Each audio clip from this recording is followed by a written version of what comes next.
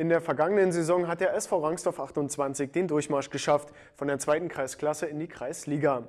Dort lieferten sie jetzt wieder den Beweis der guten Nachwuchsarbeit, denn gegen die in Rot-Weiß antretenden Platzherren in Darmdorf wurde mit 4 zu 2 gewonnen.